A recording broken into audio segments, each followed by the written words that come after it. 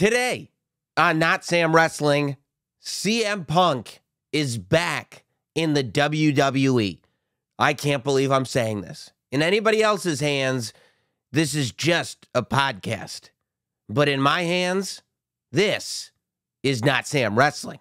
I don't know that I have ever been more excited to step down into the Not Sam studio and to speak directly to you.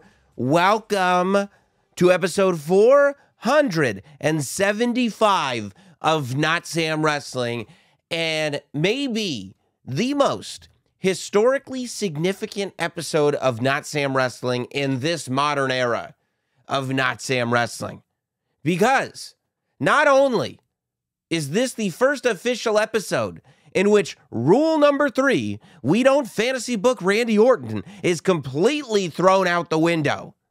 But I dare say that today we have the greatest this week in CM Punk segment in the history of not Sam Wrestling. I don't think that I have to be the one to explain to you that on Saturday night in the Allstate Arena, in Rosemont, Illinois, in the shadow of Chicago, the hometown of the Second City Saint. At the end of a pretty great Survivor Series War Games pay per view, a pay per view that delivered on the return of Randy Orton, all kinds of smiles coming out of the War Games matches, just as we thought we were going to have a, a, a, great, happy drift off to bed on a Saturday night. The, little copyright logo came up. The little logo that said, stay tuned, the press conference is coming up next came up. I started thinking to myself, ah, we're mere moments away from Hunter Hearst Helmsley putting his glasses on and explaining to us that this is the highest grossing Survivor Series in the 37 years of Survivor Series. But oh no! we weren't done yet. Because what I didn't realize, and what I think a lot of us didn't realize, is that we were not just looking at the end screen of a show. No, no, no.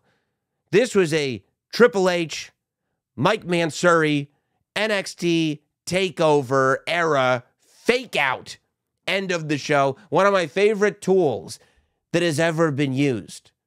The little chyron comes up. Guess that's the end of the show. Nope. One more thing like what Steve Jobs used to do at all those Apple events. Oh, and one more thing. And here comes the one that you're going to be calling home about. Because just as that those logos came up on the corners of your screen, we heard a noise that had been wildly speculated about for quite some time. But a noise that we weren't sure that we'd ever hear on WWE television again. As a matter of fact, I think a lot of people were quite sure that they would not hear on WWE television again. That noise, we all know. Anybody who's a wrestling fan knows. What comes after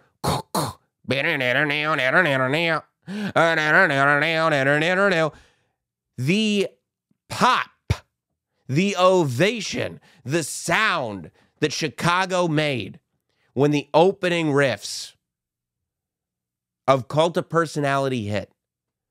And that old logo, not the logo that was very, very similar in AEW, but that original old logo, the logo that dates back to Money in the Bank 2011 when Cult of Personality was first used in WWE. That logo flashes on the screen. And there was this amazing ovation because there are a lot of ovations, right? A lot of different types of ovations. Some ovation, and they're all great. Some ovations are just, yes, and everybody cheers. Some ovations are, it's exactly what I wanted. Some ovations are, I knew it, awesome. And some ovations, some ovations are the Yabu, right? John Cena coming back at the Royal Rumble in Madison Square Garden. All so excited. Yeah. Oh, I forgot we're supposed to boo John Cena. Boo. But really, it's yeah, because we didn't expect this what we got for CM Punk at Survivor Series in Chicago was the what yeah. What yeah? Because nobody could believe it was actually happening. The idea that, like, you just saw Randy Orton come back. You just saw Randy Orton hit an RKO on JD McDonagh as he was flung off the roof of War Games. We're good. We've seen the end of the show. What? Yeah! And 17,000 people in an arena with a wooden roof blew the thing off and sent it right to O'Hare Airport. And oh, the timing. Oh, the delicious timing of looking in that entranceway and hearing the music and seeing the videos playing on all the screens. It said CM Punk, the logos of CM Punk popping up everywhere. But you didn't believe it until you saw the man. You didn't. You said no, no, no, no, no, no, no, no. I've been gotten before. You ain't gonna work me, pal. What is this? Is this Paul Heyman coming out? Is this the Ryback making an appearance? Is who knows what this could be?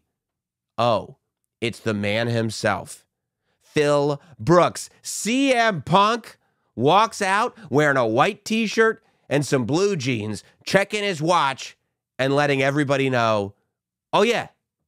Once again, it's clobbering time. The place goes nuts. I mean, nuts. He's getting hugs from people in the front row that look like it was an in your house, ready to knock over the guardrails on top of Shawn Michaels. I mean, this is something 10 years in the making. It was Royal Rumble 2014. We are two months shy of 10 years removed from WWE. The last guy who you would never see in a WWE arena again, is standing in a WWE arena. This is the name that WWE on screen talent would never utter. Never hear a reference to CM Punk unless it was very, very heavily veiled. You never hear those initials in the word punk. You wouldn't even talk about punk music on WWE television. And now here he is, right in front of our faces, just standing there. And all of a sudden, you realize whether you like CM Punk, whether you hate CM Punk, whether you think he's good for wrestling, whether you think he's bad for wrestling, whether you've established your own opinions on the drama that he's been through, and you think he's at fault or not at fault, whether you have no opinion on the drama that he's been through. The one thing that nobody can argue is that the minute this guy shows up, everything changes. You go back uh, the history of CM Punk, and that's what this guy does. Okay, so CM Punk shows up to WWE in 2006. He had eh, made an incredible name for himself in the independents. He had had an unbelievable run in Ring of Honor as Ring of Honor champion had classics with Samoa Joe. He'd been in IWA Mid South having these amazing 60 minute, 90 minute classics with guys like Chris Hero. And on his way out of Ring of Honor, has like the quintessential, the very first Summer of Punk run where people thought they were going to the last CM Punk match, but he won the world title and spent the, the Ring of Honor superstars had to spend the entire summer trying to get the title away from him so that the devil, which everything MJF is saying about the devil is based on CM Punk calling himself the devil. So that the devil didn't show up in the WWE with the Ring of Honor title. Well, after that amazing run, he goes to Ohio Valley Wrestling, spends his time there, and the WWE didn't get him. This wasn't a period of time where every big name independent was getting signed by the WWE or by AEW. As a matter of fact, most big name independents were not getting signed by the WWE. There was a whole group of guys that it was like, well, they're big on the independents, but they're not like a WWE guy. That's not a thing anymore. That doesn't exist anymore. But it existed and it existed hard in the early 2000s, especially as WCW and ECW were out of business. Because now WWE, from the mainstream perspective in America, was shaping the industry as they saw fit. But there was something undeniable about CM Punk. The way, the look this guy had, the way he made people feel. It was never the matches specifically. It was the way he made people feel. It was something about him that he instantly made people feel. They bring back ECW, WWE does. And Paul Heyman himself picks out CM Punk. No, this is the guy. This is the guy that I want. Paul Heyman sees something in CM Punk, and anybody that knows anything about Extreme Championship Wrestling, the minute you see CM Punk in the early 2000s, you go, yeah, that would have been the biggest star in Extreme Championship Wrestling had it still been around. And, you know, 2006, 2005, 2004, we're still only a, a few years removed from that company going out of business. So CM Punk shows up, instantly becomes a big name in WWE's ECW revamp under Paul Heyman, but real quickly, Paul Heyman ends up out of the WWE. He's not in charge of the ECW brand anymore, and he's nowhere in the WWE organization. So now CM Punk is, is, is on an island, and people still don't get this guy. They do recognize how popular he is, though, right? He ends up winning the Money in the Bank briefcase, I think twice. But that first Money in the Bank briefcase win, I think, is one of the things that truly established the power of that Money in the Bank briefcase. That you looked at CM Punk when he first won the Money in the Bank briefcase, and you said, that guy's never going to be the world champion of WWE. That was the thing about CM Punk. I love him. He's my favorite wrestler. But as somebody that's watched this product for as many years as I've watched this product, that guy with the straight edge tattoo across his uh, abs and the long hair and the piercings and everything he's got going on, I love him. He's never going to be WWE champion. And he wins the Money in the Bank briefcase, and somehow he displays the power of that briefcase by becoming the world heavyweight champion. It's amazing, somewhat short lived. It is what it is. He does fantastic things. Straight Edge Society, awesome. Whole program with Jeff Hardy, awesome. But it's not until 2011 that everything changes for CM Punk. In 2011, CM Punk is coming to the end of his WWE contract. And he is offered an opportunity that nobody in that era is offered, which is hey, tonight at the end of Monday Night Raw, take that microphone and air your grievances. Work a shoot, shoot a work, whatever you want to call it. And CM Punk lets the audience know that in anyone else's hands, this microphone is just a microphone, but in his hands, it's a pipe bomb. And CM Punk drops the pipe bomb promo leading into Money in the Bank 2011. And that pipe bomb promo, I believe, is certainly the most impactful promo of that entire decade. It's only 2011 at that point. I dare you to find a promo in the 2010s that is more important than the pipe bomb promo. We could sit here right now and have a conversation as to whether or not it was the most important promo in the history of wrestling. You're going back to Austin 316 at the 1996 King of the Ring to find a more impactful, more important, more industry shifting promo than the pipe bomb promo. And not only does it shift the industry, but that single promo makes him a star for the rest of his life. He was good, but there's no turning back after that.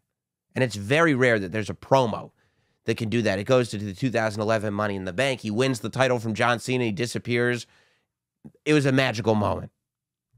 He only disappears for like a week. It gets muddy. And he gets dissatisfied with what's going on in the WWE. In 2014, you know, whatever, three years removed, less than that, two and a half years, I guess, he uh, decides uh, after the Royal Rumble match that he's done. He describes himself as being hurt, as being sick, and just being over it. He was looking at going to WrestleMania to have a match reportedly with Triple H. He didn't want to do that. And he decided to walk out of the company after the Royal Rumble 2014. People are waiting, but nothing is happening. All is quiet on the Western Front. We go all the way till November, Thanksgiving of 2014, whatever it is, 10 months later. And he and Colt Cabana drop a podcast that you I mean you talk about. I mean, it, it's the most impactful wrestling podcast of all time. And after that podcast is dropped, and after lawsuits are filed, and after I mean it it that podcast resulted in lawsuits, that podcast resulted in in friendships being ended, that podcast resulted in elements of the industry being exposed uh, to to a mass public for the very first time. And Punk is gone. Punk goes over to the UFC. And in uh, you know 2015 or so, 2015, 2016, 2017, he has a couple of UFC fights. Unsuccessful, clearly not ready to be a, a, a professional MMA fighter against people that have been doing this all their lives, but still, he made it happen. And I'm going to guess anybody that trains for a fight on a professional level could probably kick my ass or your ass, right? So he does that, and and really, anytime he speaks about wrestling, which is seldom, he speaks about it as if it is pretty far in his past, that he's over it, he's done with it.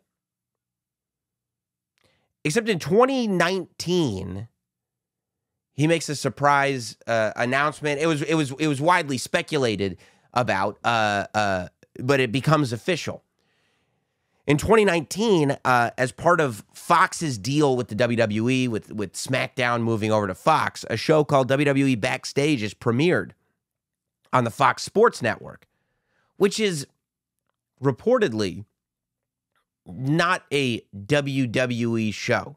It is a Fox show. I guess it's done in partnership with WWE, but it's not a WWE show. And the reason that, that emphasis is made is because that is the caveat.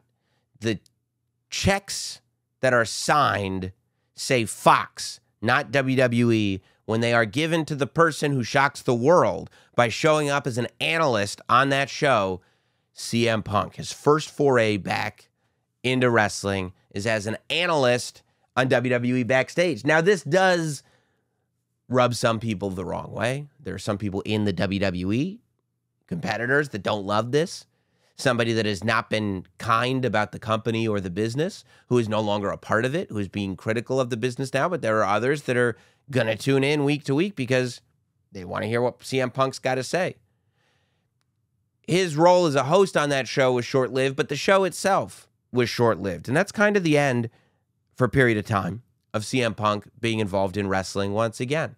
He does some uh, MMA commentary, he's here and there until rumblings start happening in 2021 after the pandemic that CM Punk is showing up in AEW, and he does just that. In August of 2021, CM Punk again has a surprise comeback, which is I, I mean, people know he's coming.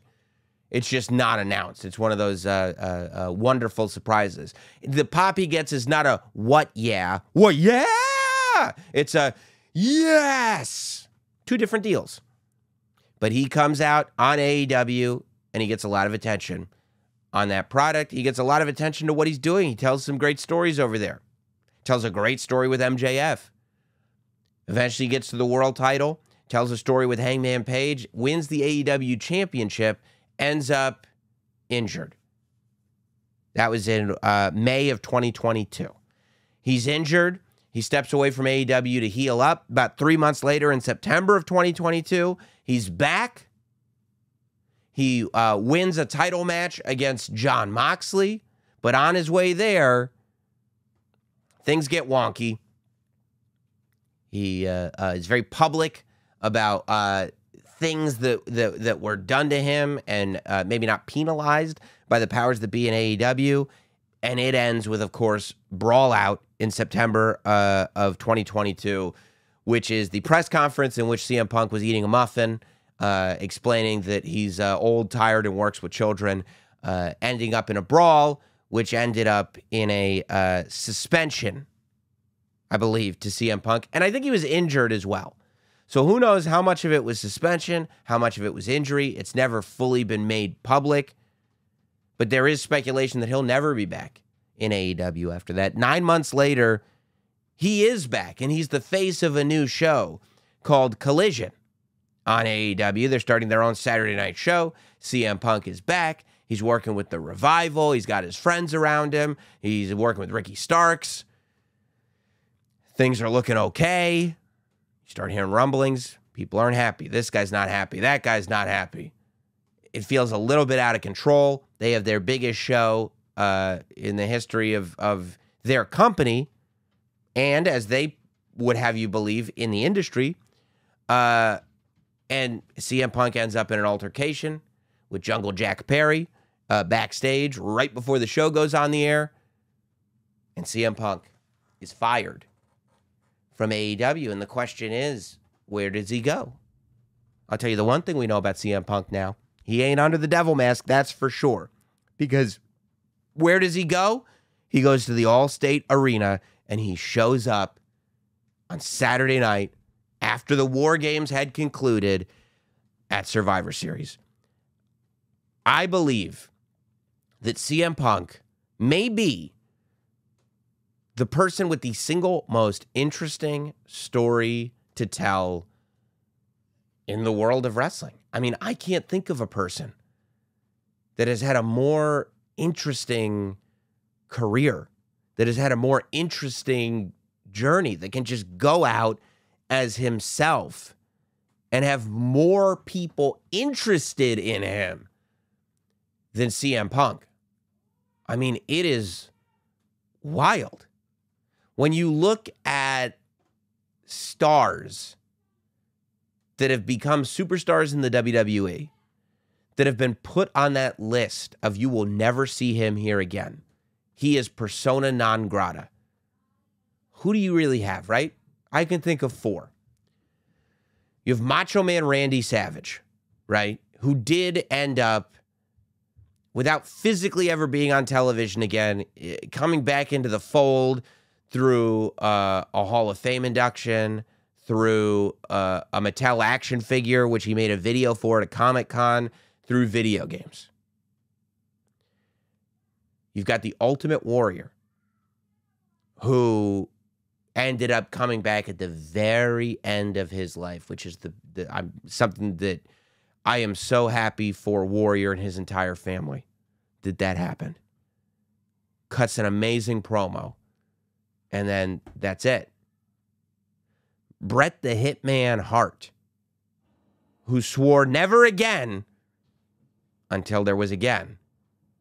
And finally, CM Punk. That's the family.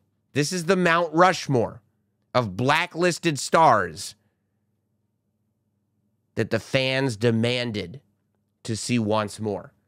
Macho Man Randy Savage, The Ultimate Warrior, Bret the Hitman Hart, and CM Punk. Here's the difference, and here's what makes this return even more interesting than any of those others that I just mentioned. None of the others returned in a way where they could still get in the ring. None of the others returned in a way where they could put tights back on. The Ultimate Warrior was able to cut a promo. Macho Man Randy Savage was able to be merchandised. Bret the Hitman Hart was able to have a couple matches, but he had to wear jorts. CM Punk is wrestling again. Basically, AEW brought CM Punk back into wrestling, blew any dust off of him, got the ring rust off, and prepped him for a WWE return. And here we are. And you know, I, I I think that because there has been so much drama around CM Punk, people are going to have different opinions about him, and I think that that's great. That's okay. That's what it means to be interesting. When people say uh, people love to talk about this guy, it doesn't just mean one thing. Like it means all of that, right? And I think that that's good. I think that that the reality is that as a wrestling fan, which is the perspective that I speak from because it's the only perspective that I can speak from. And I think it's the perspective that all of us listening are in. All you can do is follow your emotions. All you can do is follow how you feel when you hear the music play, when you see that guy on screen. And it's good, man. It feels good. It feels like, oh my God, we are seeing this is a moment. This is a forever moment. We sat there. I sat there watching on on on Saturday or Friday, whatever, before War Games this year. I watched last year's War Games, and I thought to myself, man, it's really cool that the WWE is in a position where in the men's War Games match, they can put together a five man team of baby faces, and everyone on that team is a main event player.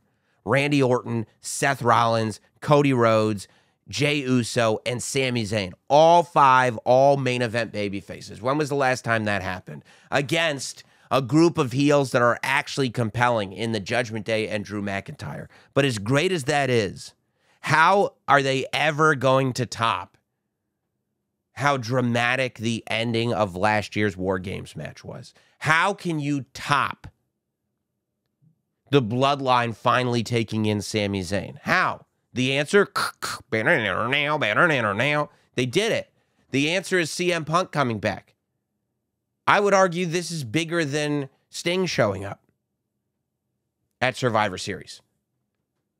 You know, I mean, this is on that list of like the biggest Survivor Series debuts or returns.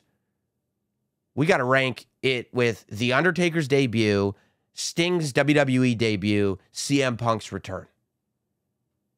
And you're going to argue until you're blue in the face as to how that ranks.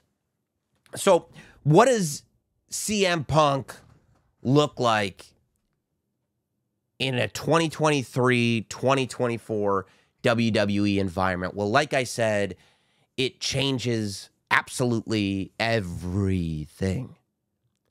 And, you know, I mean, there are going to be people there that have real beefs with the guy. The guy has been a polarizing figure not only to people in the audience, but it's been made very, very clear to any of us that listen to anything anywhere having to do with wrestling that people within the industry are very polarized when it comes to CM Punk. The WWE is at this place where where it seems as though the locker room is more harmonious than it's ever been. That people are are happy and that the product is hot. So is it a risk bringing CM Punk in after all the drama that's gone on? Is it a risk? I would say you have to just think logically about it. Think logically about what we know. The fact of the matter is that the WWE is a very well oiled, disciplined machine.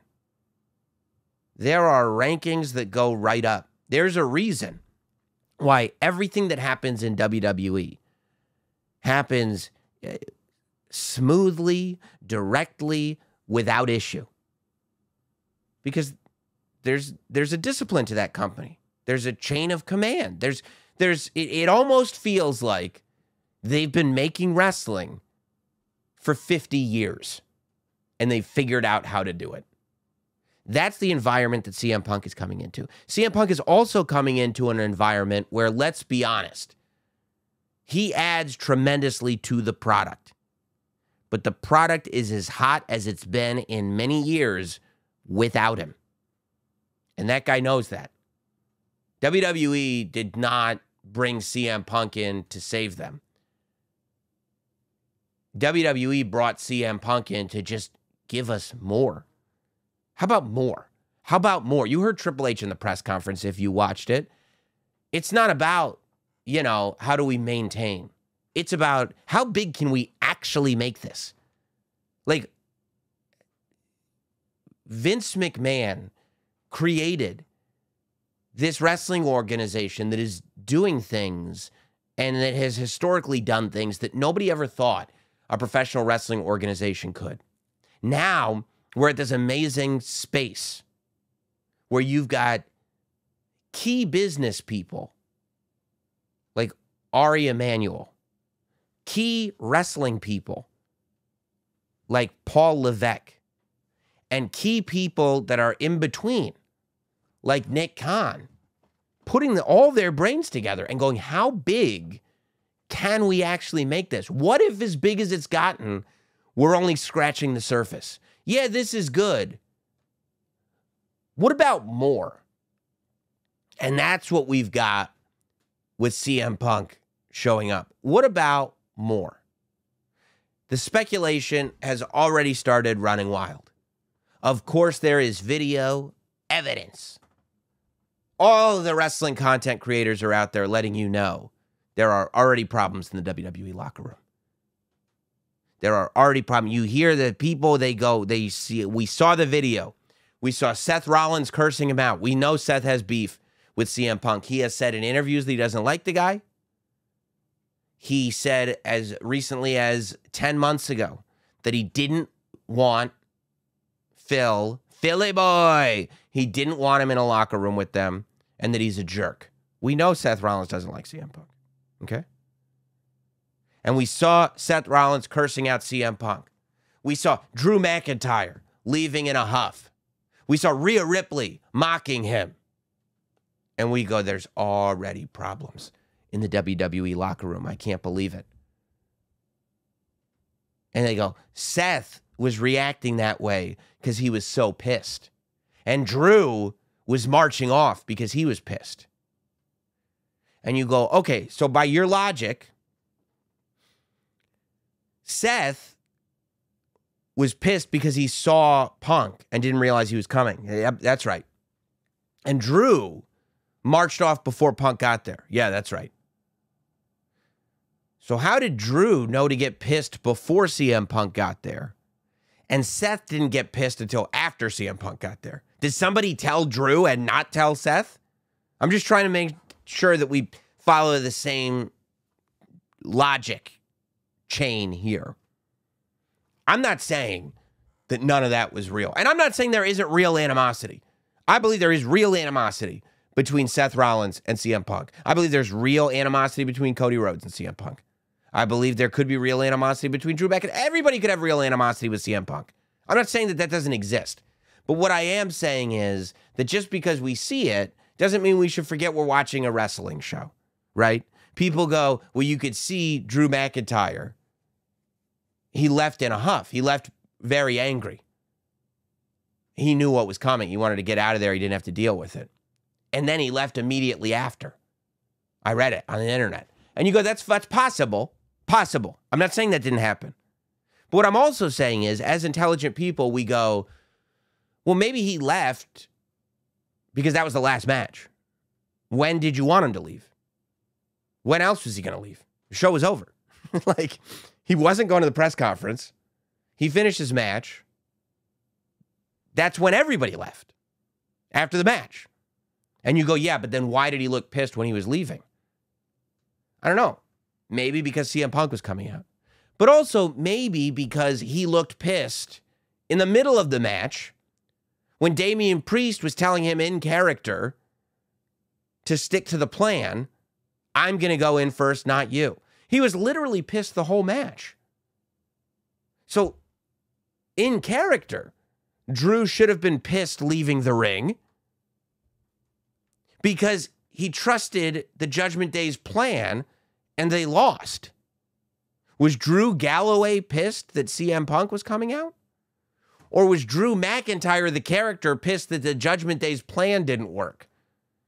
There is no evidence based on the footage that I've seen that we weren't just witnessing Drew McIntyre in character pissed at his team. Well, what about Seth Rollins? What about Seth Rollins? See, you're saying that a guy at ringside, after winning a match, has this guy that he's talked smack with on the internet. This guy comes out and Seth starts cursing him out. He knows he's not on television, so he can curse, but the cameras are on him. I mean, I don't want to have to spell this out for you. I mean, we've got to end up getting a Seth Rollins versus CM Punk match. And if we're going to get a Seth Rollins versus CM Punk match, this is exactly how you'd want to have it. But this is the magic of CM Punk. This is why it's great having CM Punk back because the minute, the minute, because if those guys did the exact same thing with any other wrestler, we'd go like, oh, cool, we got a storyline brewing. But because they do it with CM Punk, we as people that have been watching wrestling for decades, we as adult intelligent wrestling fans look at it and going, no, I think it's real. Why? Because CM Punk is back. That's the magic of CM Punk, in my opinion. And the more I thought about it, the more I'm like, okay, you got Seth mad at him. You got Drew mad at him. You got Rhea Ripley mad at him. Everywhere you go, there's rumors. Somehow they kept it under wraps that CM Punk was returning to WWE. But the fact that the locker room is not happy about it, they can't keep that under wraps, right? Why would they want the whole it, why would they want it to seem like the whole locker room was mad at CM Punk? I don't know. What's the next premium live event after the one that we saw this weekend at Survivor Series? What's the next one? I'll give you a hint. There's none in December. Royal Rumble is the next premium live event. What would it look like if CM Punk's first match back in the WWE was the Royal Rumble match, the same match that he left? His last match was the Royal Rumble in 2014. What if his first match back is the Royal Rumble 2024? Except this time, he's entering into a Royal Rumble where the entire roster hates him. What would that look like? I'm not saying that's what's happening, but I am saying that all the elements of that being a possibility were right in front of us at Survivor Series. And my God, was it magnificent. I mean, there's so uh, there, there's that this is why Punk changes everything. There's so much for for him to do. And, and and what would I do? You know, Triple H was talking about it at the press conference. He said that he's a different person and that CM Punk is a different person. And that CM Punk is now at home where he belongs. Amazing to hear that coming from the guy who he was supposed to have the match with CM Punk at WrestleMania that CM Punk split for. Now he's in charge of the company and CM Punk comes back for it. Takes a picture with him, does the point. CM Punk did the point with Triple H. What? What reality are we in? What era is this? The anything can happen era. The anything is now possible era is the era that we're in. So, how do I want to see CM Punk used in WWE? Uh, sporadically is not the right word, but big matches only. It's really the same thing that I said about him in AEW. CM Punk is an attraction. He is an attraction superstar. People, he, CM Punk, because of what I just said, because people believe it's real when CM Punk is involved. And you can't do that week in and week out, but you can do that multiple times a year. People will pay big money to see the big CM Punk match. You've got 200 rings across this. You got all these rings in the performance center. You got all, all these different spots that you could make sure that CM Punk is staying in ring shape and that CM Punk for himself could stay in ring shape for. So that the only time he's wrestling for the WWE, it's in giant marquee matches. It's at the Royal Rumble. It's at WrestleMania. It's at SummerSlam. It's at Survivor Series. It's at Money in the Bank, wherever it is. Put him on that Brock schedule. I don't need to see him wrestle on Raw. Give him a microphone on Raw. Not every week either. Give him a microphone on Raw. Have him wrestle at a few big pay per views. And we got some big pay per views this year, boy. We got elimination. Cha- we got we got Royal Rumble in a baseball stadium. We got elimination chamber in Australia. We got two nights in a stadium for WrestleMania. We got Backlash in Paris, France. We got Berlin, Bash at Berlin. We're all over the place. Lots of opportunity for CM Punk to come in and make a huge impact. And all you've got, all you've got for CM Punk are matches upon matches upon matches. You've got the Everyone is mad at CM Punk Royal Rumble match right in front of you for January. If you're not doing Seth Rollins versus CM Punk at WrestleMania, I don't know what you're doing. To me, that's a no brainer. Now, it is what you could do CM Punk winning the Royal Rumble, and then he challenges Seth Rollins at WrestleMania. I mean, to me, If you don't have The Rock, and you may not have The Rock because the actor strike is over, so he's probably going back to work. CM Punk versus Seth Rollins night one, Roman versus Cody Rhodes night two, you may end up selling out two stadiums. How could you get bigger? That right there, right? You've got Cody Rhodes versus CM Punk. Are you kidding me? Are you kidding me? Go back to the last AEW promo that Cody Rhodes ever cut. Go back to it and listen to him as he, without a feud for CM Punk, he just had this on his chest. He had this on the brain. Explain that everything that CM Punk talked about in the pipe bomb, everything that CM Punk claimed he could do, Cody Rhodes went out and did it. CM Punk says he can change the industry, and Cody Rhodes did it. These are the words that Cody Rhodes spoke. There was no comeuppance for those words. We know the history. We know what happened there. Cody Rhodes versus CM Punk, the history in that match. You don't want to see Cody Rhodes versus CM Punk? Can you imagine? If Cody Rhodes beats Roman Reigns at WrestleMania and still in front of him are Randy Orton and CM Punk as potential championship opponents, forget about it. What about Randy Orton? How about the fact that we could see what CM Punk versus Randy Orton in 2024 actually looks like? How about that? How about the fact that something that we really got to think about before we get to WrestleMania? If you really want Cody Rhodes to finish the story against Roman Reigns, I think a lot of people do. the bloodline story, the Roman Reigns story has been built upon Roman destroying every uh, unsurmountable obstacle. Everything that couldn't be destroyed before, Roman is destroying. What about CM Punk versus Roman Reigns? If we're going to do CM Punk versus Roman Reigns, don't we want to do that when Roman is still the champion? Don't we want to do that before anybody's beaten Roman? Don't we want to tell the story of CM Punk being the guy to finally do it and Roman putting him in his place? It's certainly, you go, well, how do you get there? Maybe we don't do Seth versus CM Punk at WrestleMania. Maybe we do CM Punk versus Roman at WrestleMania. I personally would prefer CM Punk versus Seth at WrestleMania. That'd be my preference. But what I'm telling you is Roman Reigns has beaten Edge. He's beaten Daniel Bryan. He's beaten John Cena. He's beaten Brock Lesnar. Who else is on the list? He's beaten Cody Rhodes. There's two guys that Roman hasn't beaten Randy Orton and CM Punk. And they're both at play here. Do you understand the amount of pieces that are now on the table?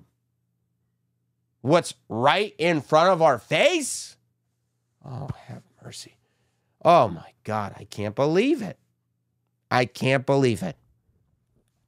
So here we are with CM Punk back in the WWE. I personally I don't think it's even a healthy thing to try to predict how long it's going to last. Is he going to screw this up? Is he going to screw that up? CM Punk could get fed up with the whole thing and bounce before WrestleMania. We don't know, but what we do know is as we sit here and talk about it right now, it's freaking awesome. According to reports, this deal was done over the last like 10 days leading up to Survivor Series, and that it is a multi year deal that was signed. And I think that if you're in a situation where both parties are aware what you're doing here, Punk, we're not bringing you in to go week in, week out. We're not bringing you in to elevate the company. We're not bringing you in to, to work with young guys. We're not bringing you in for any of that. We're bringing you in for super fights. We're bringing you in because you are a valuable commodity. Because what do you have to offer? A lot. And we'd like to utilize that. And to me, I think that that's key to running a business. If you're going to hire talent, you need to figure out what exactly is the talent that your talent has. And you need to utilize that specific talent. And everybody said, Oh, I want to build up the next thing. I want to build up the next thing. How about this? Build up the next thing by selling tickets for everybody. Don't worry about getting Grayson Waller over. You have your match with Roman Reigns. Get a stadium full of people. And that stadium full of people will see Grayson Waller in his own match. That's how you get Grayson Waller over. I want the Punk super fights. I want Punk and Roman. I want Punk in the Rumble. I want Punk and Seth. I want Punk and Cody. I want Punk and Randy. I, I want Punk and LA Knight. Can you believe? Imagine CM Punk versus LA Knight. LA Knight is the CM Punk story, just in a completely different package. I mean, they're photo negatives of each other. They're both the guys who had to scratch and claw to get to exactly where they are. But LA Knight is the guy with the polish on him. LA Knight is the guy who you don't even see. I don't know who that person is. I have no idea who the LA Knight person is. I know who the character is. But LA Knight has a giant wall up in front of him. LA Knight presents the character, and that's all you get. CM Punk, there ain't no character. It's Phil. He's the guy. Two polar opposites. Can you imagine the promos that we'd get between LA Knight and CM Punk? The fact that LA Knight has worked too damn hard to just give up the spotlight to CM Punk and allow him to take advantage of him in any stretch. But CM Punk is not going to take that from LA Knight either.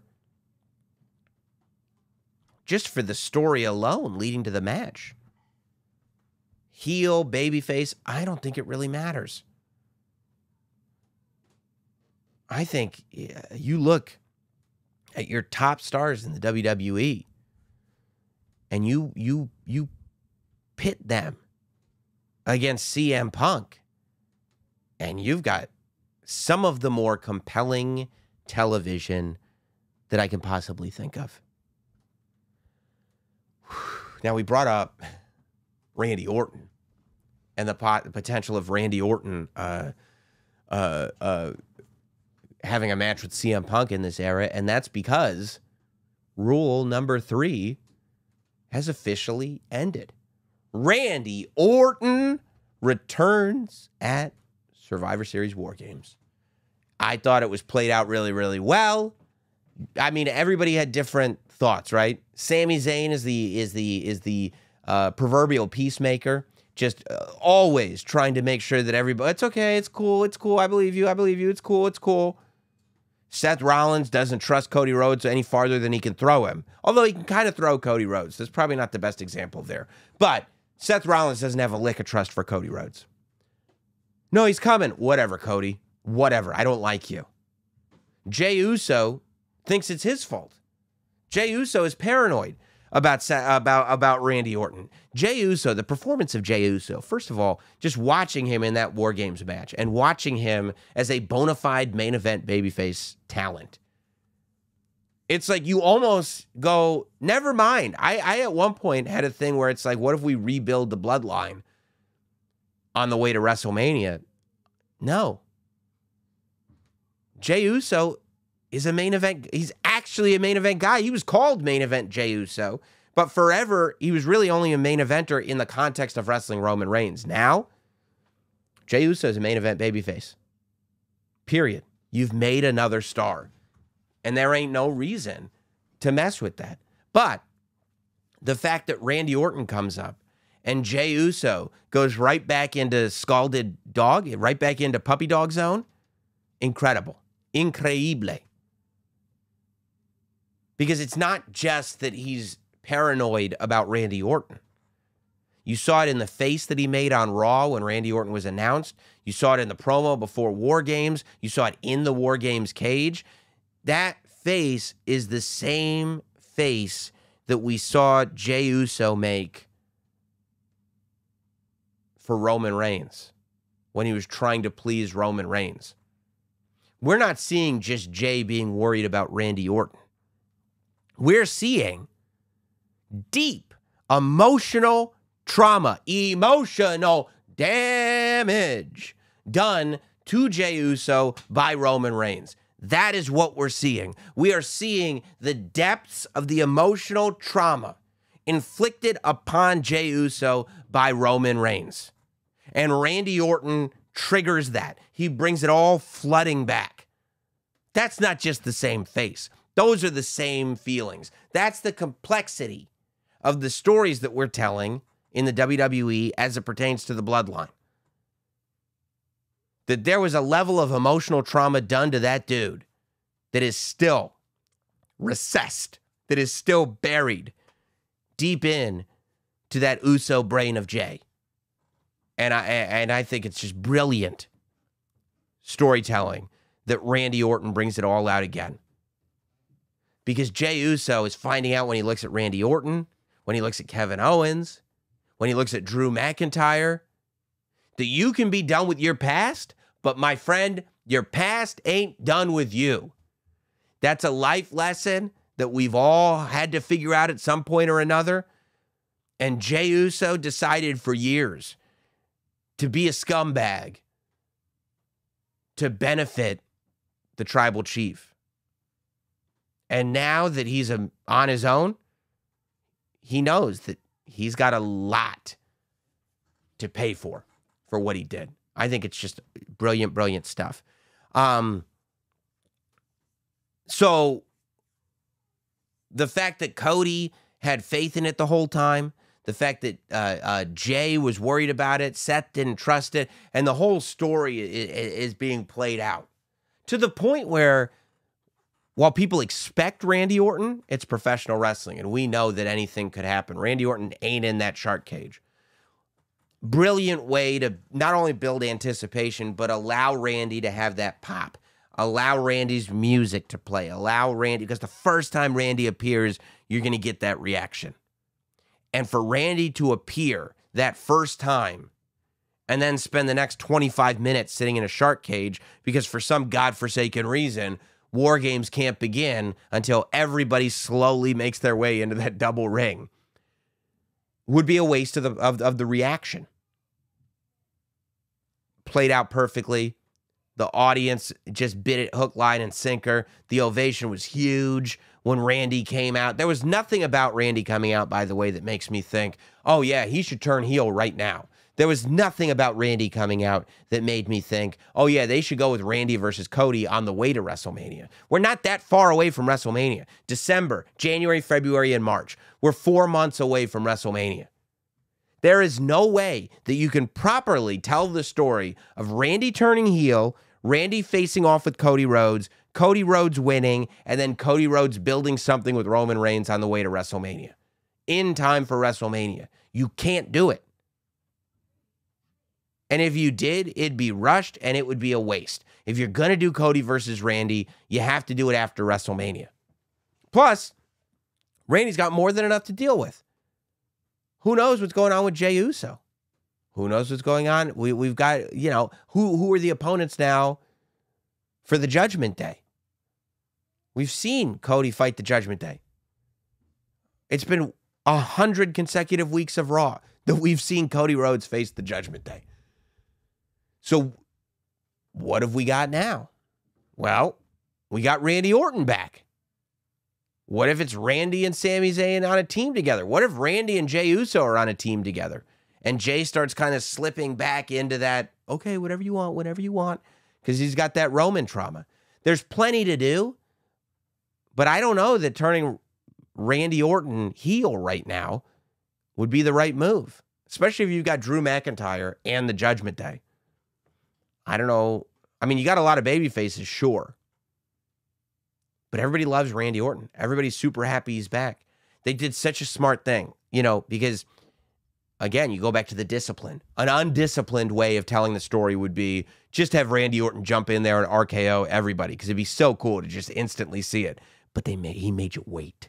Ooh, you had to wait for that RKO so that it felt good. He made you wait for that RKO and then boom, hit it. And then that RKO on JD McDonagh, as JD McDonagh fell off the cage, not fell off, got thrown off the cage, but as Randy Orton was like calling for it, and you saw them calling for it, and then Randy Orton hits it. By the way, Randy Orton was looking huge, had the buys and the tries, the six pack, and those he had some big legs on him, boy. Quads and hammies on fleek, as one might say. Oh, I was so happy to see Randy Orton back. Randy Orton is one of the all time greats as far as just a performer goes. It's hard to imagine a better wrestler than Randy Orton. To see him back was just, uh, I mean, so cool.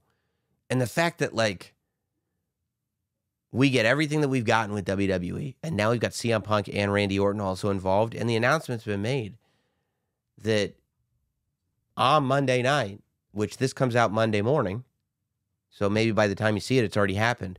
We've got Randy Orton and CM Punk on the show. I can't wait. I can't wait to hear what these guys have to say. Uh, elsewhere uh, on Survivor Series, I feel like we've buried the lead in a big way. You talk about pops. How about getting a pop, even though you're part of a segment that's backstage? R-Truth's return in a Ruffles commercial.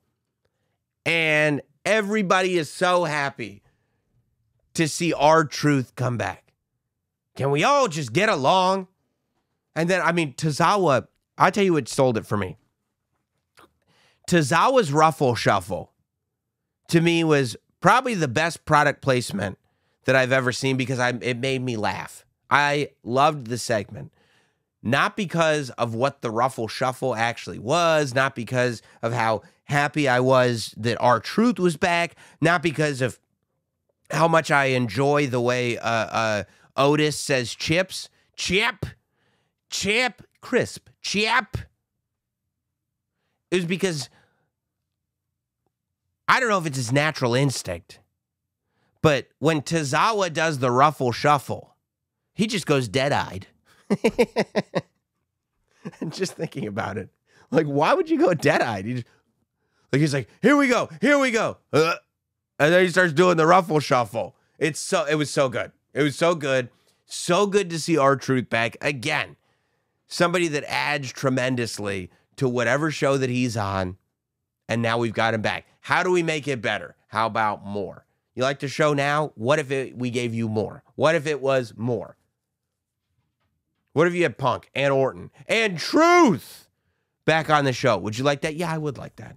Speaking of ruffles, by the way, had Rey Mysterio been in the women's War Games match, he would have won undeniably. Sponsored match. Nobody's got a sponsored streak the way Rey Mysterio has. But we did see damage control go down to Charlotte, Becky, uh, Bianca, and Shotzi. And I really loved the reaction. I thought that the Chicago crowd, and it's no surprise because Chicago is such a good wrestling city, but the Chicago crowd was so good throughout the entire Survivor Series show. Fantastic. I, I thought, you know, I love a good crowd, and Chicago was a great wrestling crowd. Um, and I, I, I loved the moment that Charlotte and Becky finally get together. The moment that they've, and it's like, because we've been on this journey, so many of us. Now, there are some people who just started watching, whatever, like, that's cool too, right? And, and, and for those folks, this is great because you've got Becky and Charlotte, who are the two biggest female stars in the industry coming together. But for those of us that have really been on the journey and realized that these two four horsewomen who have gone on to change the industry, and we've watched them, we watched the awkward belt exchange. We watched the comments that are made in interviews. We've watched all the tension exist. And we see them embrace, we see them come together. We see them climb to the top of the cage after they're victorious in that match and they do the tea thing with each other. Beautiful, beautiful moment for all of us fans like I've said many, many times, everything counts. In this era of WWE, everything counts. It's one of the things that makes it so fun. Uh, so yeah, I couldn't help though as I'm watching. Right, I thought Damage Control looked amazing, all coming out in kabuki masks. Just so, just a, a, a super cool visual. I hope Bill McKenna figures out how to make like a five pack. I don't know if Dakota was standing with them when they all had kabuki masks on. Yeah, she was because she had like a mask that was almost looked like it was from the Purge. Yeah, I hope Bill McKenna figures out how to make a five pack of all the damage control women with all their kabuki masks on. Because I personally don't know that damage control is going to stay a five person faction. Now, the way I look at it, right, is that Bayley sacrificed herself to save Kairi Sane. Bayley took the fall. Bayley lost the match for her team. But in, in doing that, she saved Kairi, right? So it was an honorable loss. However, Io, Io, I'm going to talk about Io in a second. Io, Kairi, and Asuka, and maybe Dakota Kai could easily say, Bayley, you're the weak link on the team. You are the weakest link. Goodbye. Throw it back. Don't actually say that on television. That reference is like 20 years old. But still, the same sentiment. And and go like, well, you know, we obviously don't need you. You lost it for our team. But Bayley is coming from this spot where she was honorable. Yes, she did take out Kairi Sane, but in order to make up up for that, she apologized and also sacrificed herself in that match for Kairi. That means that the beef is squashed, and that if she gets thrown out of damage control because of that, now she's a babyface. Easy road to babyfacedom if she gets kicked out of damage control for an action that was saving a teammate, and her teammate is not thankful at all for that. In fact, uh, uh, blames her for it. If she gets kicked out of damage control, what happens with Bayley? Well, we've got Bayley, we've got Charlotte, we've got Becky Lynch, we've got Asuka, we've got Iyo Sky, we've got Kairi Sane. What happens if the three remaining horsewomen are able to team back up to take on damage control? And why did I say, why did I say, hang on about Dakota? Well, who knows when Dakota is going to get better? Hopefully, very soon, because I'm a Dakota Kai fan. But what if we left Dakota Kai with damage control? What if Iyo, Kairi, Asuka, and Dakota Kai became the four person damage control?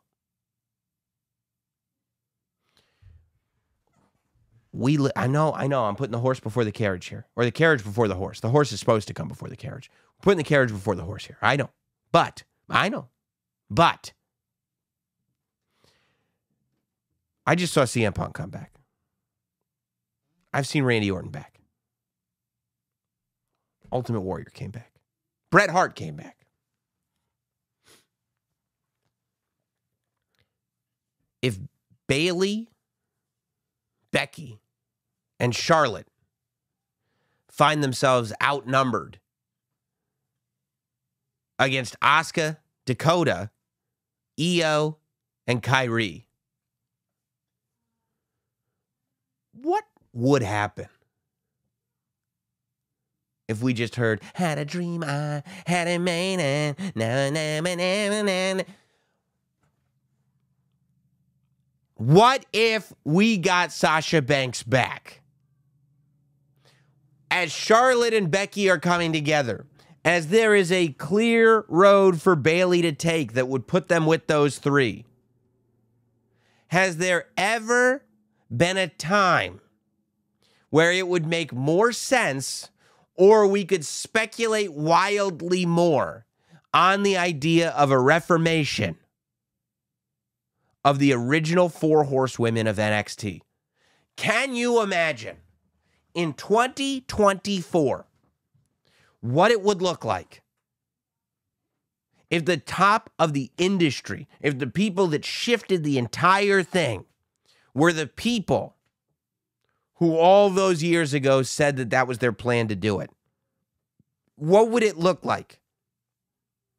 After WrestleMania 32, when the women's championship replaced the Divas championship, when we had that Sasha, Charlotte, Becky triple threat, what would it look like if eight years later, Charlotte, Becky Lynch, Bayley, and Sasha Banks all stood together on top of the industry? You thought we were done? You thought after CM Punk showed up at Survivor Series, we were done with big moments? What do we do on Notsam Wrestling? Just because we're done not fantasy booking Randy Orton doesn't mean that we're done speculating wildly. We're going to watch the product and we are going to speculate wildly. And I am saying right now that CM Punk showing up at the Allstate Arena got me hungry for moments. You got me moment hungry, Hunter. So, what do I need? Trips. I need Sasha Banks walking down that aisle. And I need to see the four horsewomen together one more time. That's what I need to see. And real quick Iyo Sky needs to be protected at all costs.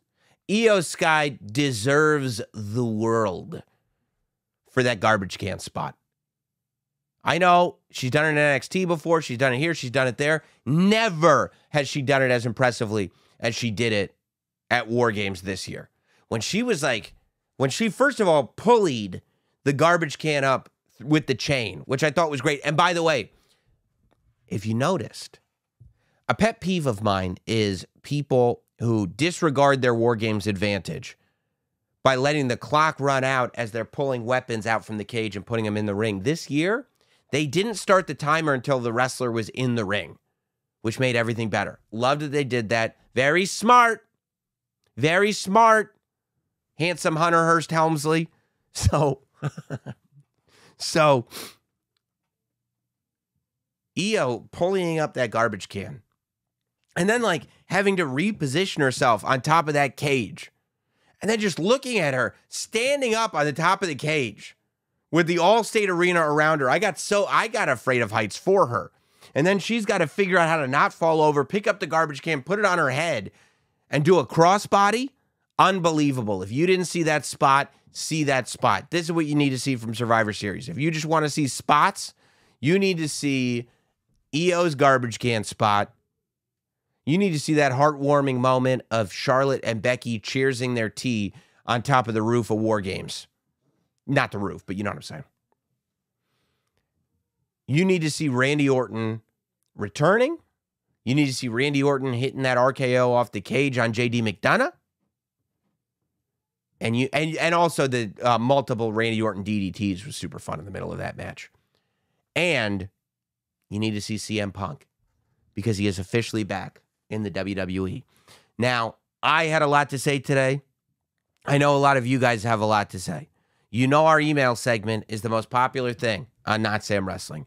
So here's what we're going to do I'm going to hit you with a bonus episode later this week. We've we've we've gone over an hour already. So I'm not going to make you sit through emails now. I had to get all this off my chest. Later this week on the audio feed as well as on the YouTube channel, there will be a bonus only emails, Notsam Wrestling. Send those emails in to notsamwrestling at gmail.com. I'm going to probably wait until after Raw.